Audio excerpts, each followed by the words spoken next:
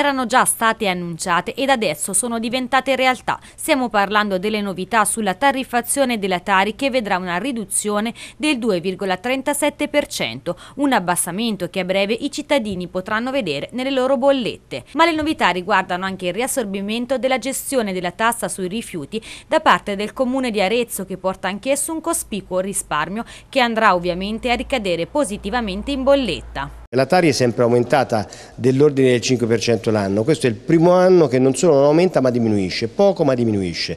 Il lavoro fatto dagli assessori Merelli e soprattutto Marco Sacchetti che hanno lavorato sul sistema, sulla politica di raccolta se non di smaltimento del rifiuto, il fatto che il Comune abbia deciso di reinternalizzare il servizio di bollettazione agli utenti ha comportato minori spese che noi abbiamo ributtato in tariffa in modo tale che il cittadino su quel capitolo lì oggi spende un pochino meno.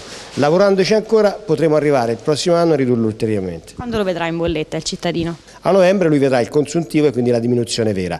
L'appello è quello a pagare, ma non solo perché, perché è dovuto ma perché nel costo della tariffa noi siamo costretti a mettere 1.100.000 euro di riserva per il potenziale contenzioso che nasce dall'insolvenza. Quindi l'insolvenza di oggi significa un aumento dei costi di oggi e un aumento anche per il cittadino che dovrà pagare domani gravato di tasse. Quindi l'appello è Aretini, pagate, Alcune novità riguarderanno poi anche la raccolta cosiddetta porta a porta. Porta a porta è essenziale per certe parti della città, mi riferisco essenzialmente prevalentemente al centro storico, anche se va programmato in maniera diversa, probabilmente non farne oggetto di un'estensione ad altra parte della città perché questo farebbe aumentare enormemente il costo. Non c'è dubbio che la differenziata comunque la si voglia guardare sui grandi numeri comporta un aumento del costo, quindi ragioneremo però su un sistema diverso di raccolta che non prevede forse il porta a porta ma qualcosa di diverso, sul quale non mi sbilancio ancora perché ci stiamo lavorando.